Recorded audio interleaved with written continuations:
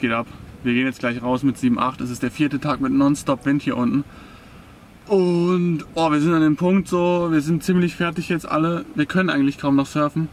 Julian kann gerade, doch kann er, das Segel noch locker zum, Segel, äh, zum Wasser tragen, was laber ich. Auf jeden Fall gehen ich, Leon Delle und Julian gleich raus. Ähm, Leon kennt ihr ja bestimmt, den werden wir bestimmt auch nochmal vor die Linse kriegen. Und ähm, ja, heute ist auf jeden Fall Vollspeed angesagt mit 7,8.